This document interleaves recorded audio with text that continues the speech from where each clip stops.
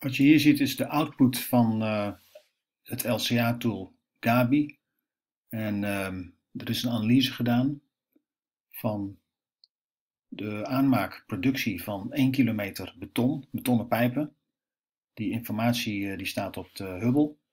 En uh, wat je hier ziet is de milieu, zijn milieu, berekende milieueffecten, ook wel LCIA genoemd, Life Cycle Impact Analysis. Mooie afkortingen met die met dat LCA, maar het is even niet anders. Uh, die eh, LCIA die is, uh, verloopt volgens een standaard, volgens een ISO-norm 14040. En dit setje impact effecten, wat je hier ziet, dat is vastgelegd in een document wat een, de naam heeft Recipe, R-E-C-I-P-E. -E, en dat zie je op in de leeromgeving zie je daar ook het nodige van. Dat is iets wat in Nederland ontwikkeld is, onder meer door het RIVM. De output is uh, Engelstalig, dus als je wil weten wat het is, als, als, je het, als het je niet zegt, dan zou je het even moeten opzoeken en, dan zelf vertalen. Maar ik ga je vertellen wat je moet doen om de vergelijking te kunnen maken voor jullie opdracht. Dus enerzijds uh, zie je hier een uh, grafiek met een x- en een y-as. Op de x-as en overigens, dit zie je voor straks voor alle andere um, effecten ook. De eerste kolom is de totale kolom en die beschouw je straks voor je vergelijking, de vergelijking die je moet maken voor deze opdracht. En die kolom die is uh, afgezet tegen een y-as en op die y-as staan dus waarden. Bijvoorbeeld hier, sta je iets, hier staat iets van punt, als je het schat zal het iets van punt 37 zijn, kilo. En dan, dit gaat dan over de giftigheid van schoon water van bijvoorbeeld water uit een, uit een rivier. Het zal duidelijk zijn dat uh, ecotoxicity, dus, oftewel dat is de, de, de, giftigheid voor het ecosysteem, die wil je zo laag mogelijk houden. Dus als je daar belang aan hecht, dan ga je kijken of dat deze waarde lager is dan de waarde bijvoorbeeld straks in het andere scenario, waarbij we ook praten over 1 kilometer aan pijpen, maar dan niet op basis van beton, maar op basis van polypropyleen, wat een kunststof is, een hard kunststof. Dit is de climate change. Dit is eigenlijk, heeft het te maken dus, het gaat eigenlijk over CO2-equivalent en dat zie je hier. En je ziet hier bijvoorbeeld dat voor beton uh, is de, voor 1 kilometer productie van betonbuizen praten we over iets van rond de 2300 kilo CO2, wat er, uh, wat er nodig is voor die productie. Nou, op zich uh, is dat een waarde. Het zegt niet zo echt heel veel, maar het is wel, als je het vergelijkt met die andere, dan kun je daar wel wat over zeggen.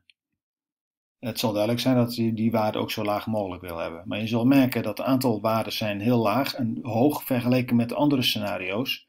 En het is aan jou om te onderbouwen wat je dan van belang vindt. Of je de ene nou wil laten, of je het, als, je, als je alles op climate change wil uh, gooien, dan is dat. Dan zou je kunnen kiezen voor de, de scenario wat de laagste waarde heeft voor CO2. Maar ja, als dat bijvoorbeeld betekent dat er dan heel veel ecotoxiciteit is, dan is dat natuurlijk ook een consequentie. Het is de bedoeling dat je, daar dan, dat, je dat dan beschrijft, hè, dat je die afweging hebt gemaakt. Op zich kun je niet goed of fout zeggen met beton of pp, want ze zijn allebei hebben ze voor- en nadelen. Maar het gaat erom dat jij begrijpt en dat je beschouwt waarom jij die keuze hebt gemaakt. En daarbij neem je in ogenschouw alle effecten in hun samenhang. Dat is namelijk wat een LCA doet. Een LCA geeft je de middelen om een gewogen, beargumenteerde afweging te maken. Dit is fossil depletion, dat betekent dus de uitputting van fossiele brandstoffen. Nou, je ziet hier dat het kilo olie equivalent is. Freshwater eutroph uh, eutrophication, dat betekent eutrophication, dus eutrofiëring. Dat is dat, je, dat er voedingsstoffen worden toegevoegd aan het water. En dan zou je zeggen, oh, dat is mooi, voedingsstoffen. Maar dat is helemaal niet mooi, want dat betekent bijvoorbeeld dat, uh, dat planten dan overmatig gaan groeien. En die trekken dan de zuurstof, onttrekken zuurstof uit het water. En daardoor gaan, uh, gaan vissen bijvoorbeeld, dus je krijgt vissterfte. Dus als je dat wil, dan moet je vooral eutrofiëring hebben. Meestal is dat dus een slecht teken. Dan moet je dat zo laag mogelijk houden. En hoe komt dat nou? Hoe komt deze waarde nou? Waarom, waarom is nou de beton, de, de productie van beton, waarom heeft het nou te maken met eutrofiëring? Nou, dat zou kunnen zijn dat er bijvoorbeeld in het productieproces, bij de aanmaak van beton, dat er water wordt gebruikt, wat weggespoeld wordt. En, uh, en op die wijze uh, bijvoorbeeld uh, ja, dus een impact heeft op, het, op de waterkwaliteit. Human toxicity, dit is dus de giftigheid voor de mens. Nou, ook een waarde om in de gaten te houden, denk ik. Ionizing radiation, dat is, heeft te maken met straling. En dat zie je hier ook, want hier staat U235. En voor degene die dat niet begrijpt wat dat is of nooit gezien hebben, dit is uranium-235, dat is een isotoop en dat is radioactief. Lijkt me dat je dit ook niet te hoog wil laten hebben. Overigens zie je dus dat dit tool heel erg gedetailleerd is, LCA-tool, zeer gedetailleerd. Alles wat er aan, aan emissies vrijkomt, voor wat voor proces, wat je, dat proces wat je beoordeelt, dat wordt hier neergezet. Zelfs radioactiviteit, iets waar je normaal nooit over nadenkt. Maar als het een emissie is, en in dit geval blijkt dat bij de aanmaak van beton blijkt dat, blijkt dat zeker zo, dan wordt het ook gemeld. Als er niks te melden valt, dan is die, krijg je een flatline, dan is er gewoon geen emissie. Dan zie je dus dat er nul emissie is. Dat zul je zo meteen ook zien bij een andere impactcategorie.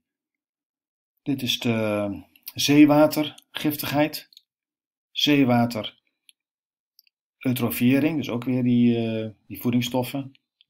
Dit is de uitputting van metaal, in dit geval ijzer, dat zie je hier ook staan. Dit is natural land transformation. Hier zie je dus dat er geen impact is op landtransformatie. Oftewel, er wordt geen, geen land, wordt geen bodem vernietigd of verplaatst of, of uh, uh, op een of andere manier betrokken bij het proces. Dit is de uitputting van ozon. Jullie hebben misschien wel eens gehoord over het ozongat. Dat heeft hiermee te maken. Dit heeft hier een impact op. Particulate matter betekent PM en dit is PM10. PM10 is fijnstof. In Nederland noemen we dat fijnstof. Fotochemische oxidatie. Dit is een, uh, iets wat, heeft, een, wat ook een effect heeft kun je opzoeken wat het precies doet. Over het algemeen geldt, hoe, meer, hoe, meer, hoe hoger die kolom, hoe slechter het is. Geldt eigenlijk voor al deze, voor al deze eh, effecten. Dit is verzuring van de bodem. Te veel verzuring is ook niet goed. Dat zal duidelijk zijn. Dit is de giftigheid van de bodem. Nou, idem. Uh, water depletion, dat betekent uh, dat is uitputting van water. Nou, hier, uh, wat je bijvoorbeeld ziet hier, is dat voor de, de productie van 1000 kilo, 1000 meter beton, wat als je goed ziet, is 325.000 kilo aan beton, hebben we 1740 kub water nodig. En dit was de laatste